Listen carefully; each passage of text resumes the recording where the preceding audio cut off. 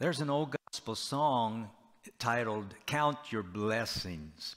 You know, when a person is discouraged, they may think they have no blessings at all, but that simply isn't true. Because of Jesus, we're blessed in some way every day.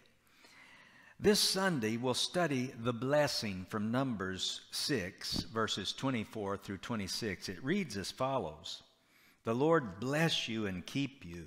The Lord make his face shine upon you and be gracious to you. The Lord lift up his countenance upon you and give you peace. I encourage you to take these verses this week and just go phrase by phrase and memorize and meditate on them. And I believe you'll have a renewed sense of God's blessings in your life.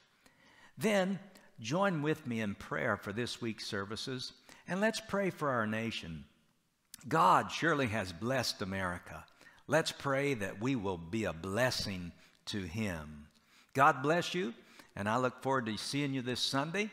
Our services are 9 a.m. and 10:30 a.m. And you can join us online on Facebook Live. God bless you.